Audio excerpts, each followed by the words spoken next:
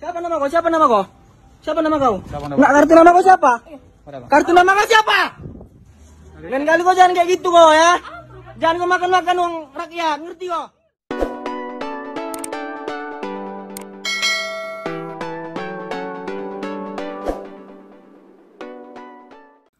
Seorang pria mendatangi sebuah minimarket untuk mempertanyakan kelakuan kasirnya yang tidak jujur.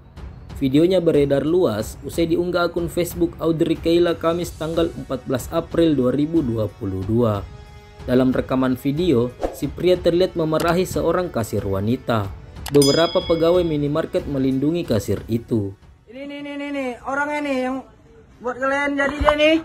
Nokoin mama aku belanja nggak ngasih stroke. Alfamart Marelan Pasar 5 Simpang. Anak ini yang jilbab jilbab hitam ini Aceh. Ya. Ia menjelaskan orang tuanya berbelanja di minimarket itu seharga Rp40.000, tapi karyawan wanita tersebut memberikan harga Rp70.000. Kasir wanita itu tidak memberikan struk ke pembeli dan mengatakan kesalahan di perhitungan komputer.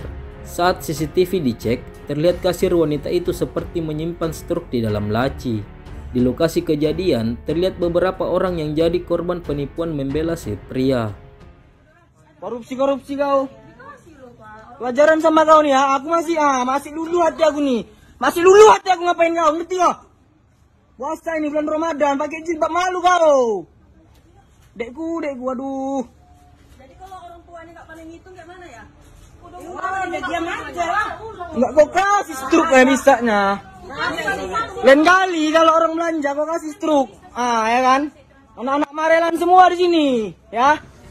Diketahui lokasi kejadian berada di simpang Pasar 5 Marelan, Paya Pasir, Medan, Sumatera Utara.